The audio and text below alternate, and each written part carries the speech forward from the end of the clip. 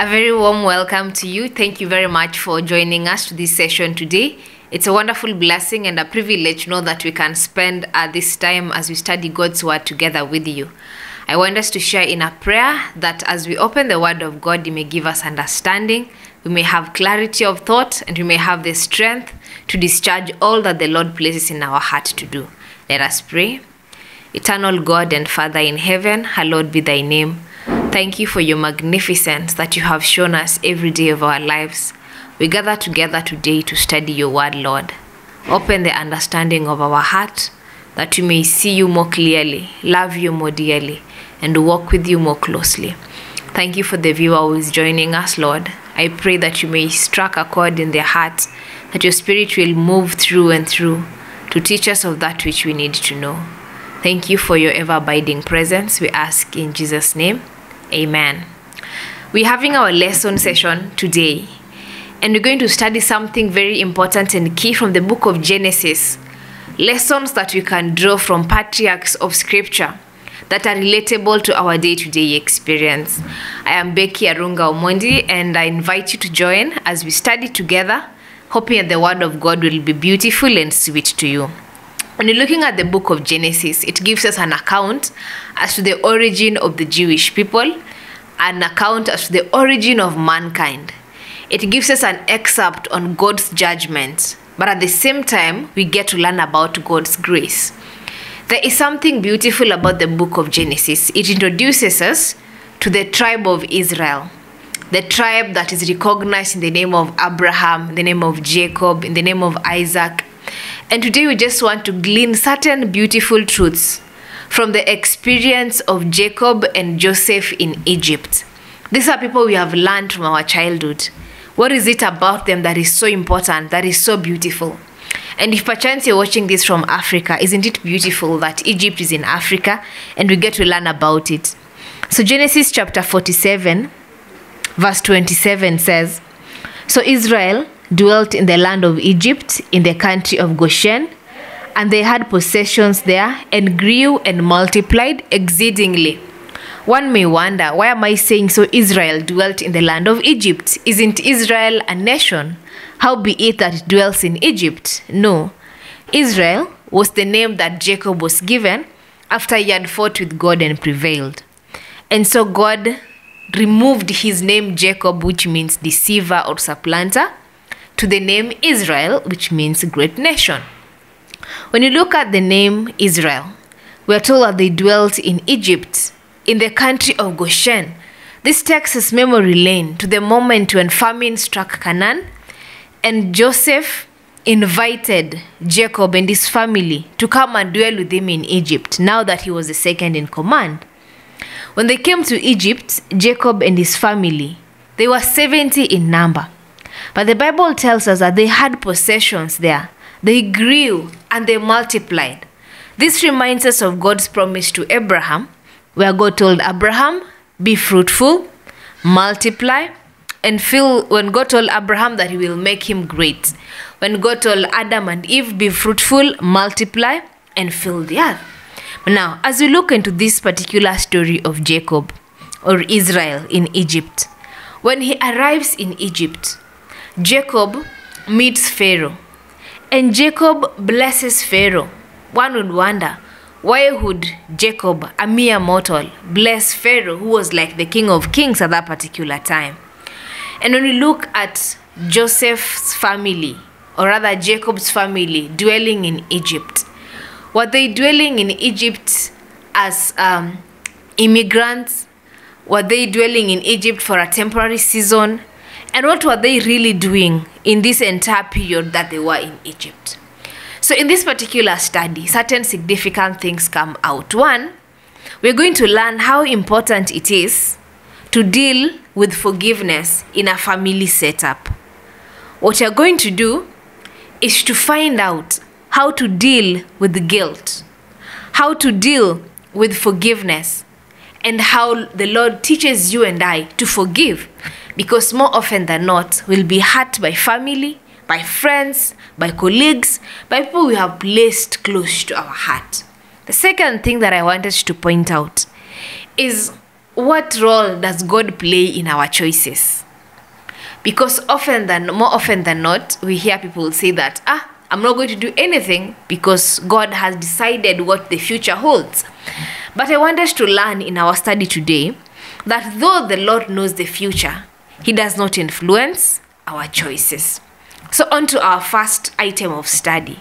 We're asking ourselves when Joseph brought his brothers to Egypt, his brothers were afraid that should their father die, Joseph might avenge, might revenge.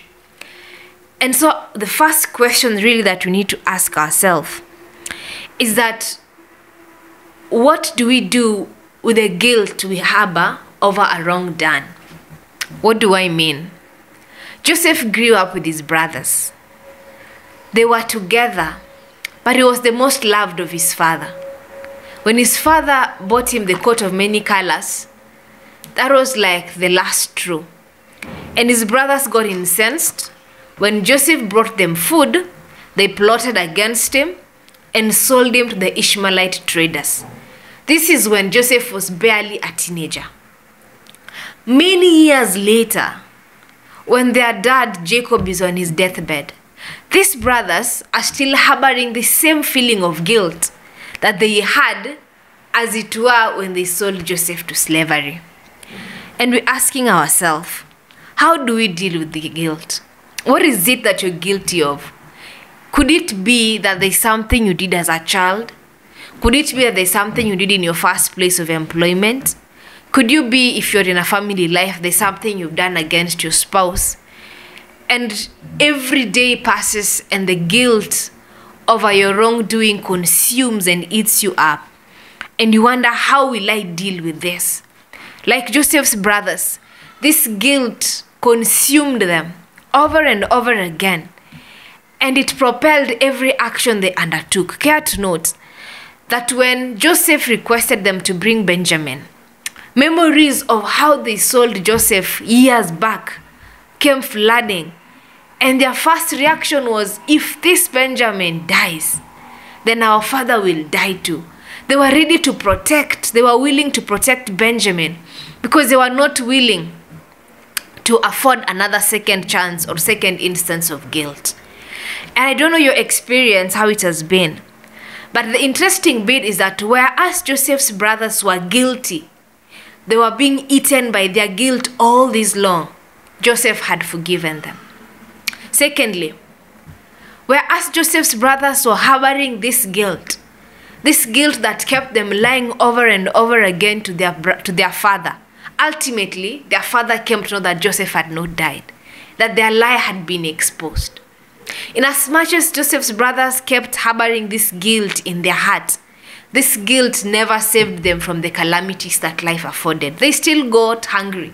There was still famine in the land, and they still had to go to Egypt. And lastly, inasmuch as they were harboring this guilt in their heart, they finally had to confront it when they came face to face with Joseph. So then, what ought we do? One thing the Bible admonishes us is that we should in as much as is within our power, we should always tell the truth. And secondly, when you have faulted or done something wrong, confess your faults one to another.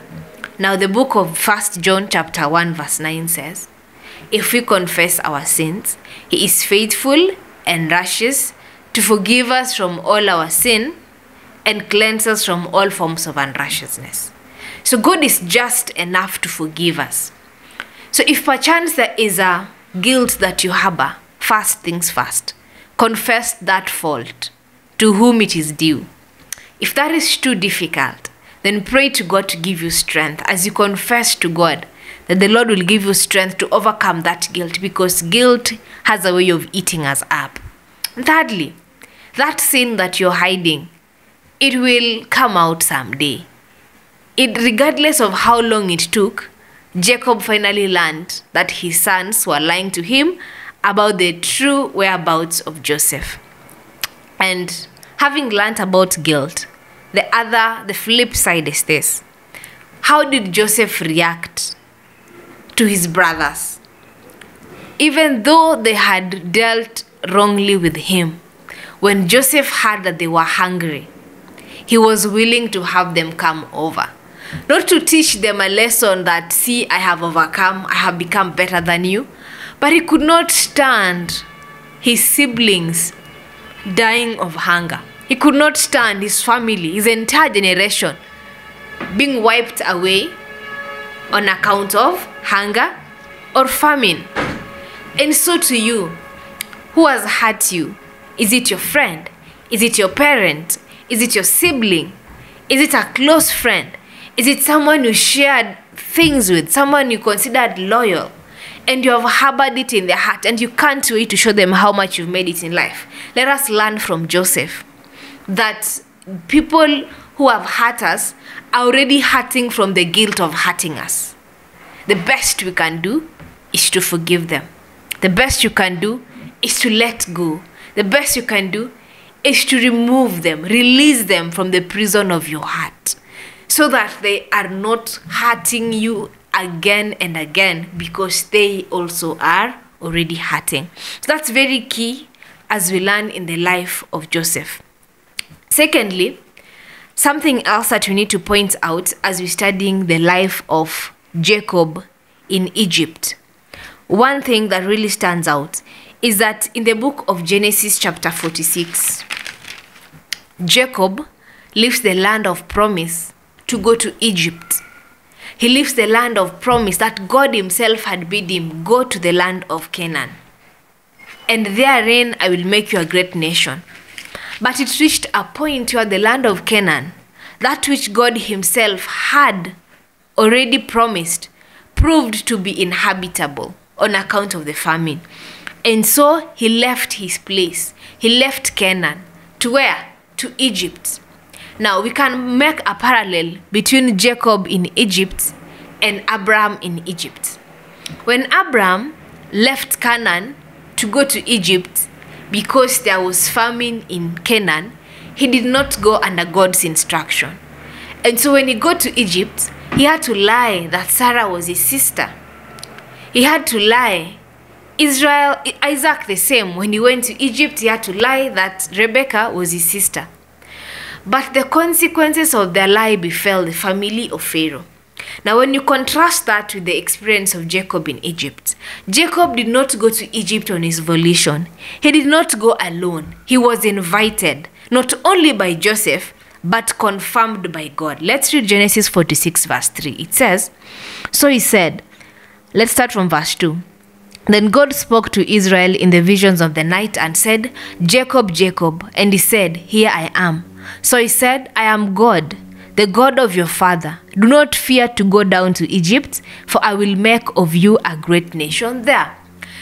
Joseph had invited Jacob to Egypt, but it is God who had instructed Jacob to stay in Canaan. So it required God to instruct Jacob to go to where? To Egypt. What beautiful lesson do we learn from here? Is that you and I need to be connected to heaven to be able to listen to the voice of God telling us what to do. God had given Canaan as the land of promise, but God still again was removing them from the land of promise to the land of Egypt. Why? Because had they insisted that Canaan was God's purpose for them at that time, they would have died of hunger and there would have been no hope for the human race. But because they kept listening to God, they knew that the Lord who brought them to Canaan is the same one who was instructing them out of Canaan. Beloved Christian, beloved viewer, wherever you are, are you still in tune with the voice of God? Or are you still relying on the faith you had when you first believed? Are you still relying on your experience 10 years ago, 5 years ago, one week ago? What is the Lord saying today?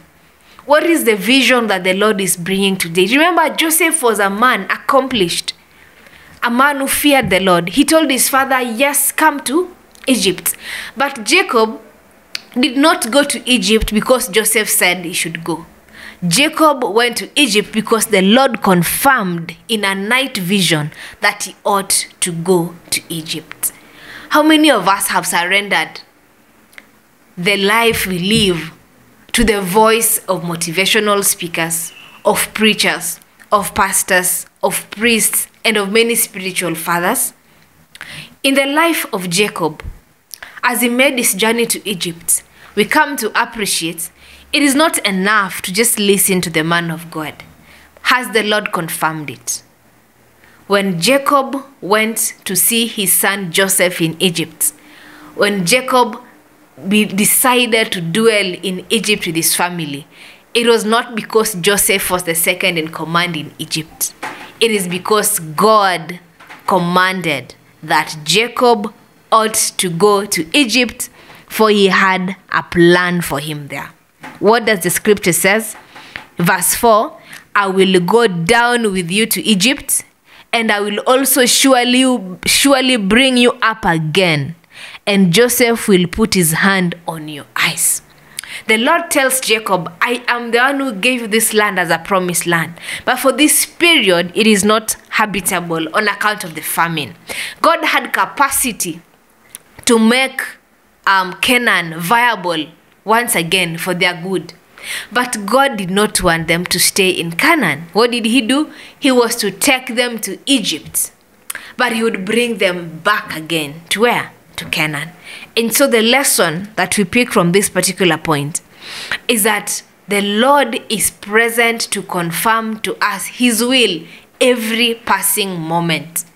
And we need to be in tune that we may lead a life of obedience, that we may lead a life that gives glory and honor to His name.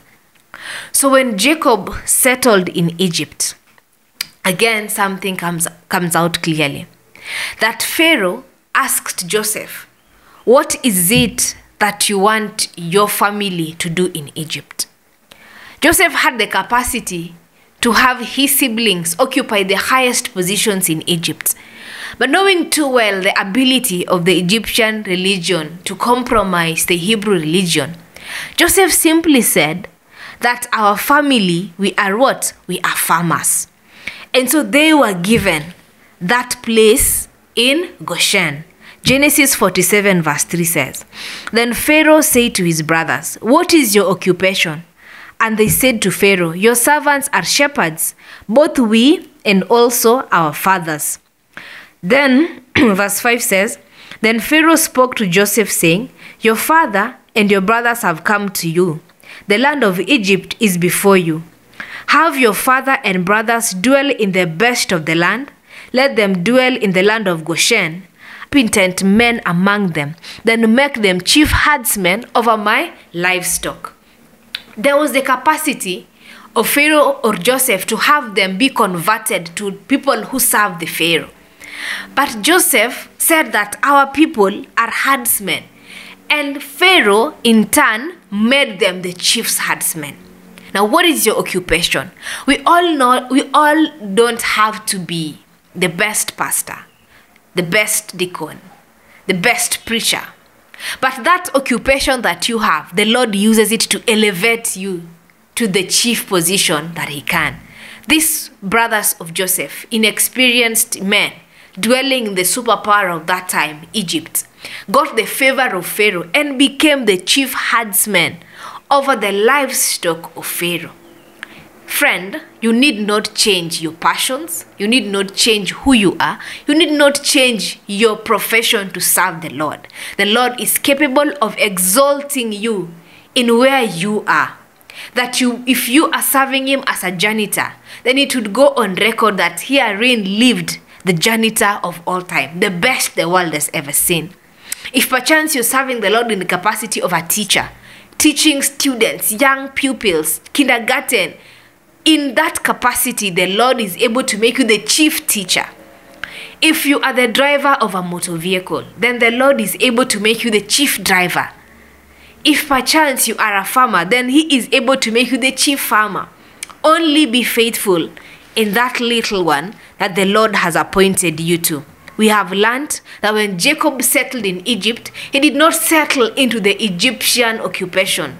His family did not settle and conform into what Egyptians did. They simply perfected that which they have always done, which is herding, and they were made the chief herdsmen. And Jacob, knowing that his time was waning and he was about to die, went about giving blessing. And something incredible that we learn now we are in Genesis chapter 48 as Jacob is blessing his sons. He interestingly also blesses the sons of Joseph. Let's get in 48 verse 5. It says, And now your two sons, Ephraim and Manasseh, who were born to you in the land of Egypt before I came to you in Egypt, are mine. As Reuben and Simeon, they shall be mine. Now Jacob had spent a great deal of his life without Joseph, his son, for he had been under the impression that Joseph had died. Now, when out of God's grace and mercy he saw Ephraim and Manasseh, and like his other grandsons, he adopted them as his sons. He reconnected with them as the young children they were, in a manner likely to suggest that he was reconnecting with the young Joseph that had actually been sold to exile. And he adopted them and said, Ephraim and Manasseh are mine. So Jacob, in essence, through Ephraim and Manasseh, was confirming and affirming that God is faithful. That essentially, the Lord who had enabled Joseph to come to where he was as the second in command in Egypt was the Lord who has made it possible for Jacob to see his grandchildren. And so he did not look at Joseph merely, but he saw beyond Joseph and experienced the grandchildren that the Lord has blessed him with. So when we look at this particular blessing, we realize that even as Jacob blessed Ephraim and Manasseh and took them as his own, it was essentially the blessing of Joseph. And through that, we are able to see the fulfillment of God's promise to Abraham that through you, all nations of the earth will be blessed. We see that the Lord Himself was able to bless abundantly the children of Israel. The Lord who had blessed Jacob by changing his name to Israel is the same God who blessed Joseph by blessing his sons through Jacob. And in that particular experience, we get to know that it does not matter. The blessings of the Lord do not know any haste or delay. They come at the time that the Lord Himself appoint. So after blessing the sons of Joseph, Jacob blessed his sons.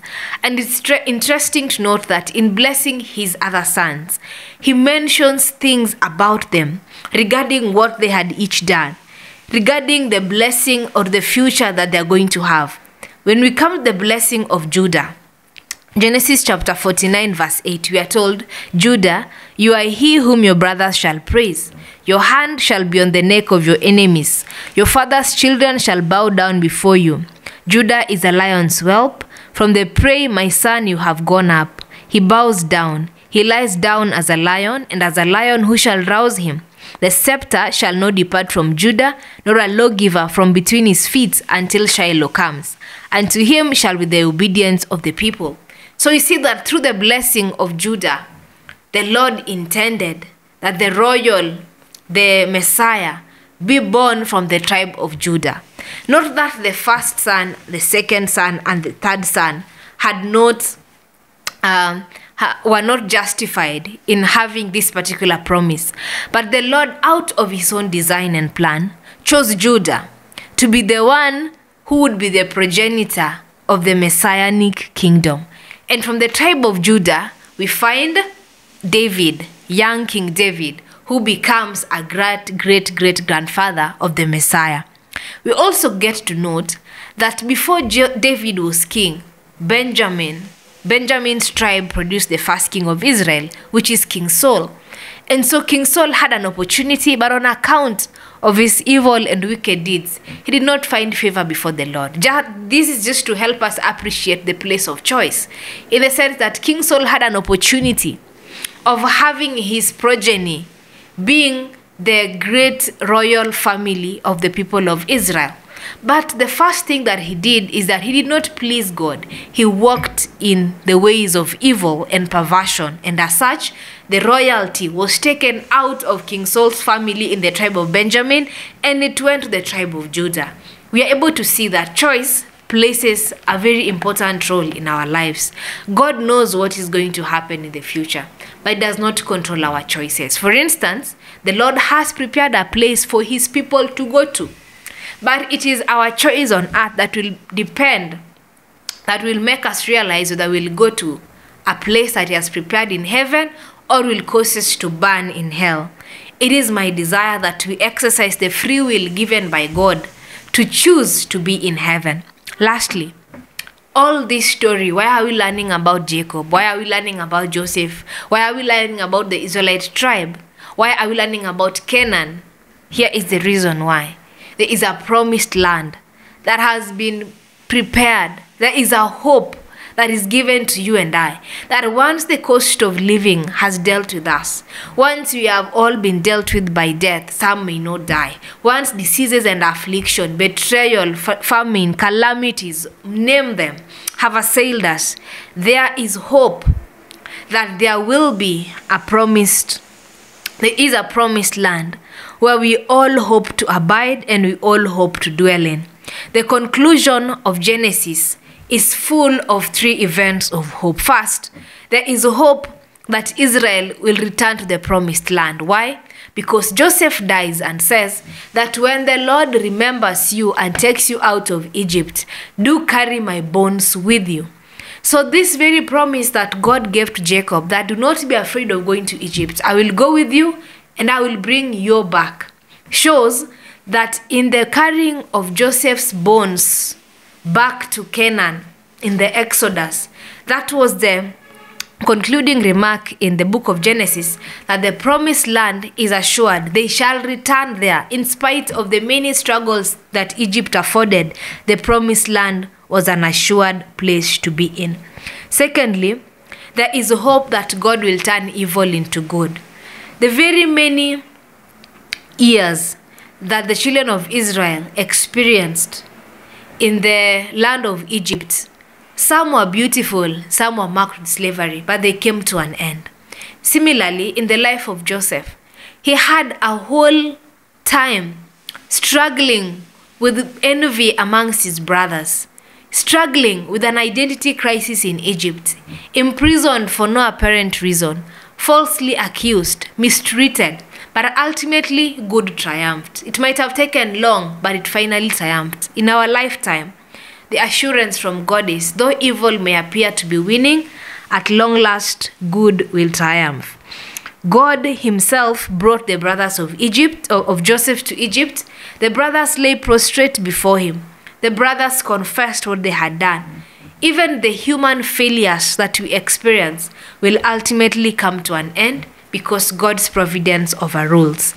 And thirdly, there is hope that God will save fallen mankind.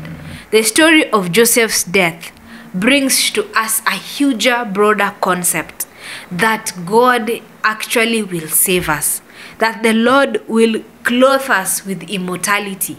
It is not enough in our bodies, whether we are short, whether we are tall, whether we are light skinned, whether we are dark, whether we have good hair or not.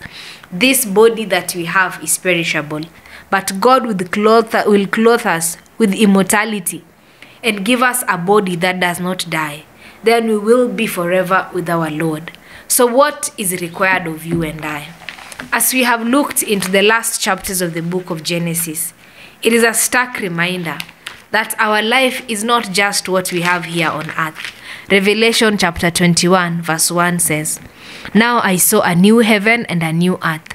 For the first heaven and the first earth had passed away. Also, there was no more sea. Friend, after all this is passed away, the loved one we have lost, the good jobs that we have lost, the opportunities that have bypassed us, the dreams that we have not fulfilled, they will all pass away. But there's something God is making all things new. We are going to a land that knows no pain, that knows no sorrow, that knows nothing that defiles. It will be a place where there will be no tears. Verse 4 says, God will wipe away every tear from their eyes. There shall be no more death, no sorrow, no crying. There shall be no more pain, for the former things have passed away. You need a reason to save the person who has hurt you. Forgive them. Need a reason to be saved. from the anger and guilt that has consumed you. Forgive and let go. In the new land that the Lord is prepared, there is no tears. There is nothing that causes pain. Everything has flown away. How I wish that you be part of that. Jacob left Canaan, went to Egypt, but he did not lose hope that the Lord would deliver them. Today, the Lord is telling you, regardless of your situation, He will make all things new.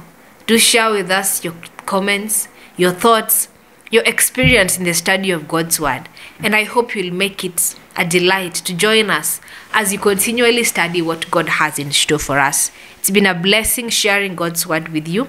I invite you to share in a prayer, and as I pray, it's my desire that you will present that which is hurting you to the Lord, your broken dreams, your shattered hopes, your wounded heart. The Lord is capable of making all things new. Let us pray. Everlasting God and Father in heaven, how excellent is your name. We thank you for the assurance that we have seen in your word, that you made all things new for Joseph. You are able to make all things new for us. You saved Joseph's brothers from the guilt that had been weighing them down for years. May you also save us from this guilt of sin that is weighing us down. You gave Jacob an opportunity to see his long lost son. May you reunite parents with their children, dear Heavenly Father. Broken families, may they see eye to eye one more time, not because of anything they have done, but because you are the Lord. I pray that you may place hope in the hearts of children in whatever households you have placed them in. Hope that would keep them struggling, fighting day by day to have things right and make things right with you. I pray that you may each give each one of us an experience of studying your word, listening from you, and learning of your patient ways, because you are a faithful and a good Father. As you have studied the book of Genesis, may we be ushered, dear Lord, to constantly remember that when all things is said and done, all heaven, all earth will pass away, for you will make everything new, including giving us a new name, giving us a new body, giving us a new experience, and thus we shall forever be with our Lord. Thank you for hearing our prayer. We ask in Jesus' name. Amen. Thank you for joining us. You can subscribe for more of this lesson as we study together. You can like and share with your friends. It's a blessing to experience God's word. Till next time, be blessed.